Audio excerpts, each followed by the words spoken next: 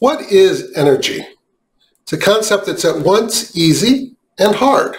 It's easy because we encounter it every day in our life. We can perceive it. What I mean by that is if I'm at a reference point at a, at a stopped position and a car comes by me uh, with a certain velocity, then I say, oh, that car relative to me going at, a, at some speed, at a velocity, it has energy. It has kinetic energy. I perceive that. I feel it. It's intuitive. Uh, whether it's today's world with moving vehicles or yesterday's world with uh, moving weapons and spears and swords, uh, there is kinetic energy, um, movement. We're familiar with that. We can feel it. We can perceive it in our human experience. Uh, let's remember that thermodynamics is grounded in human experience. Back to what, you know, why did I choose the weapons analogy? Well, I was trying to go a little historical. Let's go back even farther to the, the, the cave person uh, with, uh, with um, stones. Um, this is something we can touch and feel. Movement, velocity, relative to us at a standstill, um, we say, oh, that's a mass moving with a velocity. Kinetic energy. In a quantitative look, E is for energy. If we focus on the energy of uh, movement, kinetic energy, then we can talk about the energy KE, the kinetic energy. And it turns out that kinetic energy depends on mass of the object, m, in uh, kilograms, and velocity of the object or its speed in meters per second. And the governing equation, energy, kinetic energy, is 1 half mv squared. Uh, if you do that out, you find out the uh, energy is in joules as the unit, so that's good because energy should be in uh, joules. So to take an example, if we have a car, we have a car of a thousand kilograms moving at 100 meters per second then it's kinetic energy. That's 100 meters relative to uh, the observer, us, in a stationary location, zero meters per second. So there's a velocity differential, zero for us, 100. Uh, the differential is 100. So moving at 100 meters per second, one half the mass, which is in kilograms, and the speed, 100 squared. So doing out uh, the math on that, we get uh, 10 to the 4 times 10 to the 3, so that's 10 to the 7 uh, and we take one half of 10 to the 7, so 0.5, 10 to the 7 joules, or in short form, 5 times 10 to the 6 joules, or just 5 megajoules for that kinetic energy of that moving car.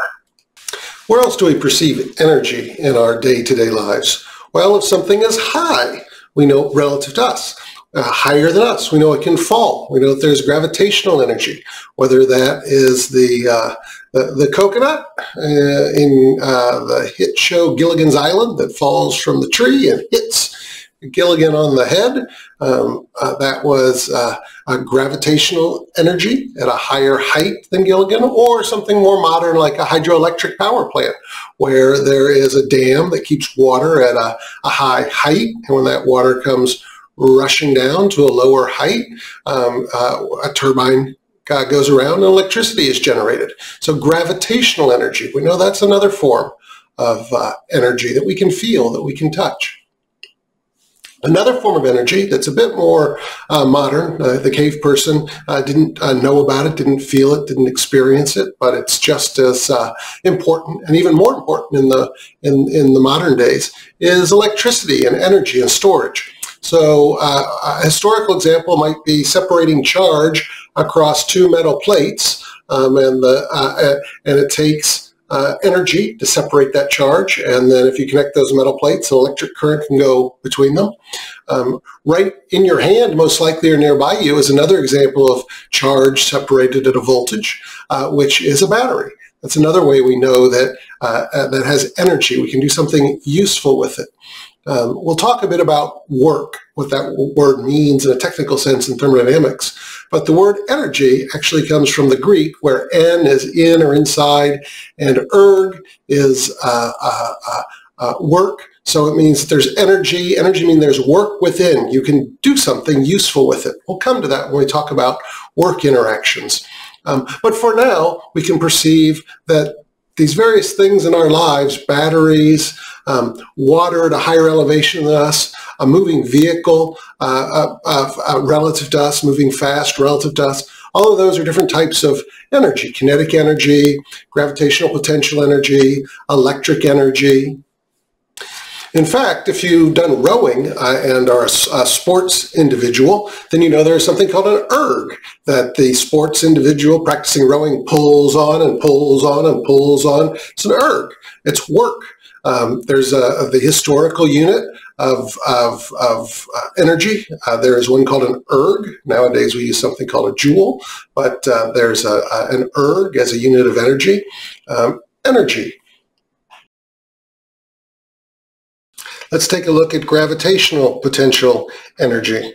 So for energy of gravitation, gravitational potential energy, it's called potential because um, you don't quite perceive it. If there's a coconut above you and it's not falling, you don't quite perceive it. But it can fall, so potential.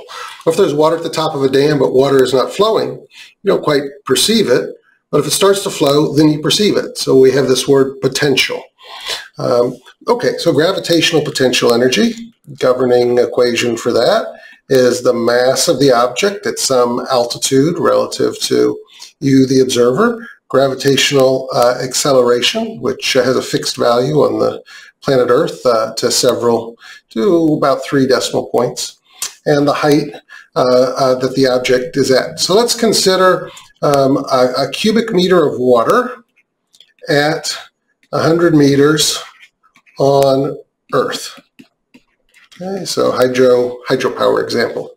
In this case, the gravitational potential energy should be the mass of that cubic meter of water. Well, a cubic meter of water, I happen to know, is a thousand uh, kilograms at uh, standard uh, density.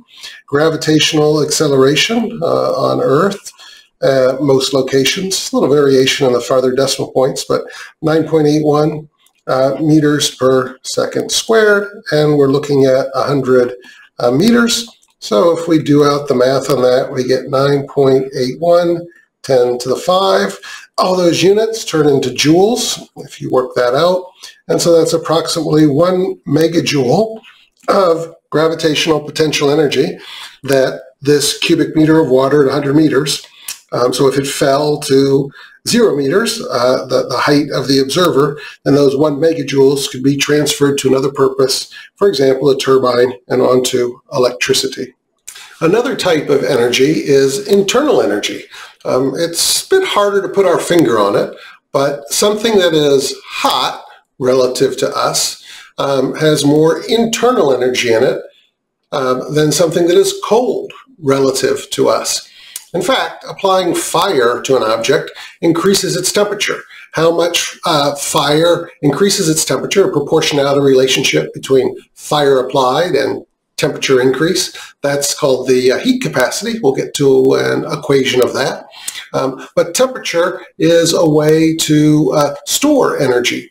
You know something about that because uh, uh, you can take, for example, hot rocks, get them hot during the day, and then during the night release that to, to heat the home.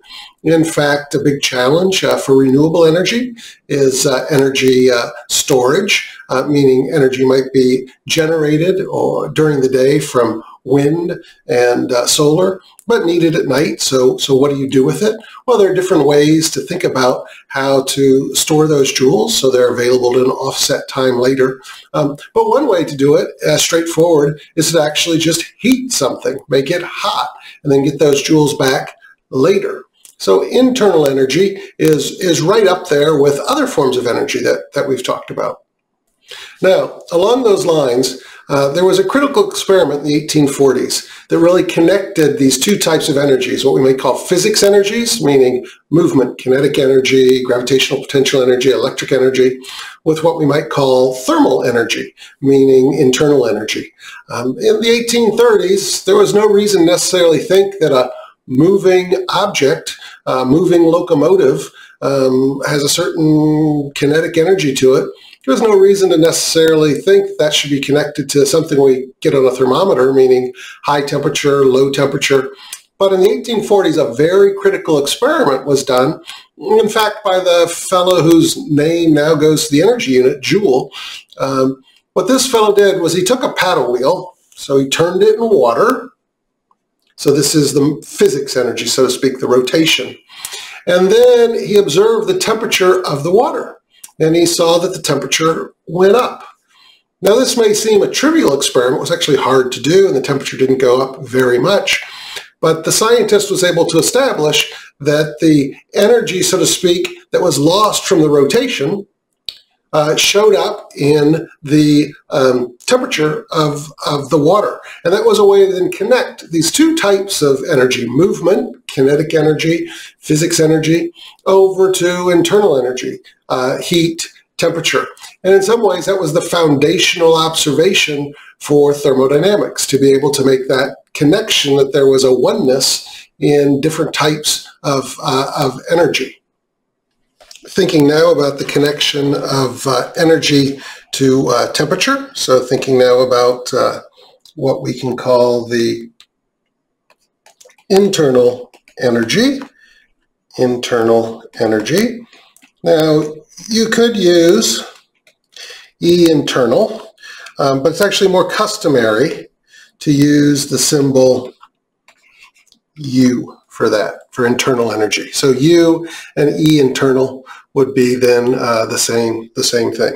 Okay, so now the governing equation then for internal energy, or uh, U, is going to be, uh, it's going to be proportional to some uh, heat capacity of the substance um, times the, the mass of the substance times the uh, actual temperature that uh, you're at of interest difference to the reference temperature. So that's the, the change in internal energy, um, or it's the internal energy relative to uh, the reference uh, temperature. So if we take an example of that for uh, water, let's uh, uh, has a CV, a heat capacity, heat capacity. Okay, it has a CV of 4.18. That's a property of the material joules per gram uh, Kelvin. We're going to consider a liter of it. So one liter, uh, given the density of water, is 10 to the 3 grams of water. And we're going to be interested in taking it from uh, room temperature. Uh, so our reference temperature, room temperature, 25 degrees Celsius or 298 uh, Kelvin. Uh, we're going to be interested in heating that to, by 10 degrees, so to 35 degrees Celsius or 398 Kelvin. And how much internal energy then is gained by that liter of water and going from its reference temperature to 398? Well, we take 4.18 joules per gram Kelvin, and then we multiply by the mass, 10 to the 3 grams, so the grams cancel. And the difference in temperature, we're trying to get ourselves to uh, 308, small typo here, but uh, going up by 10 degrees, 308 minus 298, because we're asking the question, what's the increase in internal energy going from our reference temperature? And if we multiply all that out, we get 10 to the 4. We get 4.18, 10 to the 4 uh, joules, which, uh, if we turn that into kilojoules, is 41.8 kilojoules. Um, so in some ways that water that's been warmed, we could call it an energy carrier.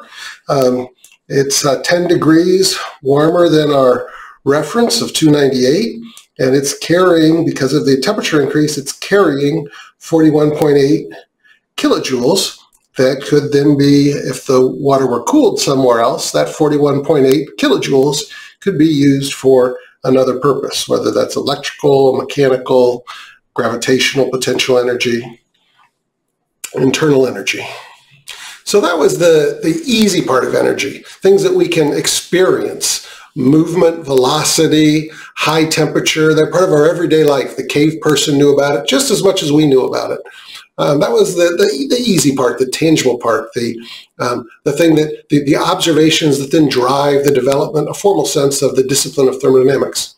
The hard part, well, energy is not something you can touch.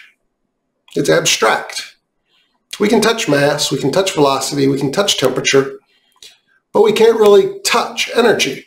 We can't put energy in a beaker and measure its volume. We can't put energy on a plate and measure its mass.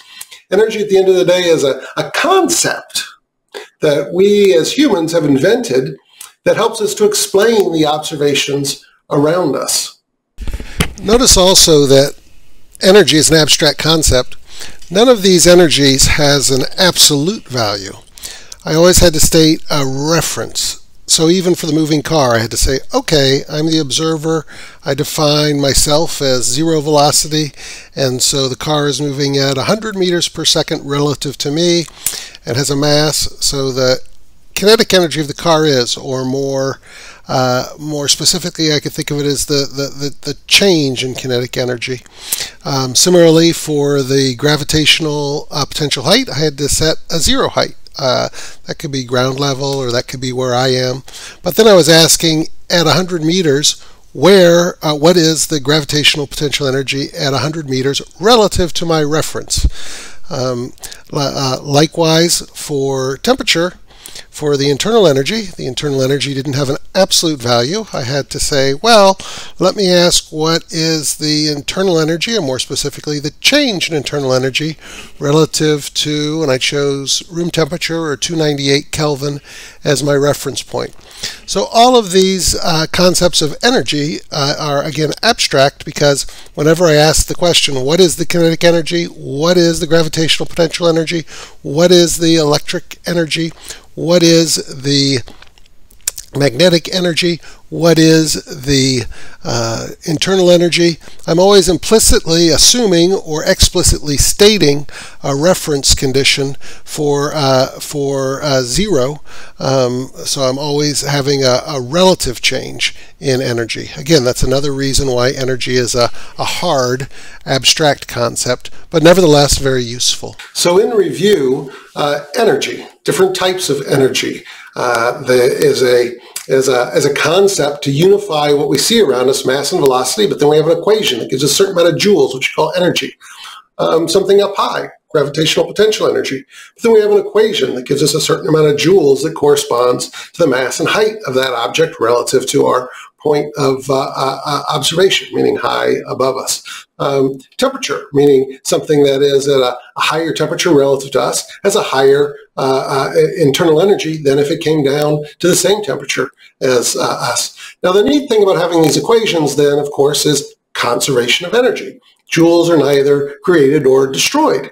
Um, there's some exception to that in uh, nuclear energy, where there's Einstein's famous equation of uh, E equals mc squared. But if one is not dealing with um, uh, nuclear changes, meaning uh, changes uh, introversion of mass and energy, if one's just dealing with straight up everyday experiences of uh, kinetic energy, gravitational potential energy, magnetic energy, um, electric energy, um, internal energy, um, then we conserve joules. Uh, that's one of the fundamental uh, foundations of science, uh, law of conservation of, of, of, of, energy. And then with that as our human concepts and our equations for these different types of energy, then we're able to approach, rationalize, predict what's happening in the physical world around us.